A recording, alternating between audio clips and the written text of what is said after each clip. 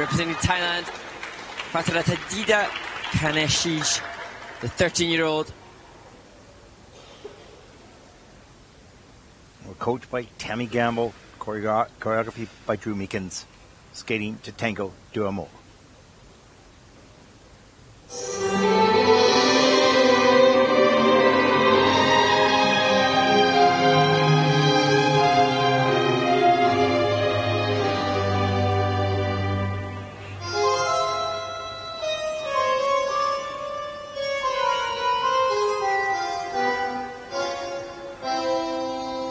Música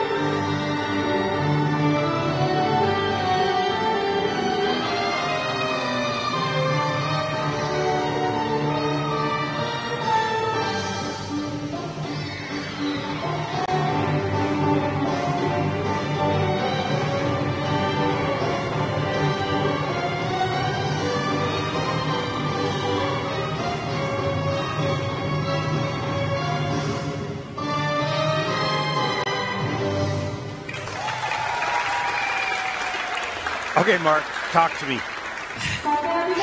That was awesome. Wow. Just amazing. That and this awesome. is a young woman. She decided she competed in the stage, states and decided to switch this season to represent the country of her birth in Thailand. And I, there wasn't a representative from Thailand at the Junior World Championships, but this woman will, I'm sure, go on to do that and do that incredibly well following that debut on the Junior Grand Prix here. Well, you know, more than just the technical elements, I love the focus and the quickness here of her performance, uh, of her choreography. There's the triple Lutz, hands above the head, reloads, gets around the triple toe loop. Nicely done. And a little bracket there follows off the end of the edge. The double Axel. great leap up into the air, nice stretch as well.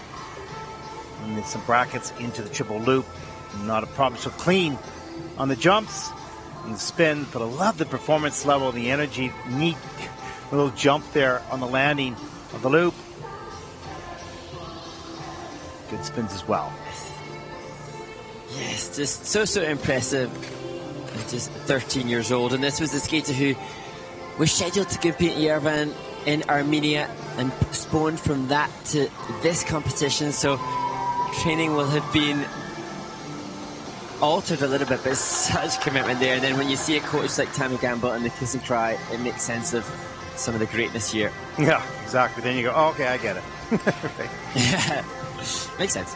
yeah, really well done. And indeed, Phattaratida, she worked previously with Chen Lu from China, the 1995 world champion. So she's been well educated from such a young age, and you know that makes that makes sense then to see someone so young be so good. They had to have had to have great influences along their journey, and she's definitely in good hands now to continue that towards presumably the Junior World Championships towards the end of the season. Yeah, a really bright light on this stage, and it's going to be fun to watch her continue to develop as we take a look at the short program scores. 61.42. They look pretty happy with that. Big smiles.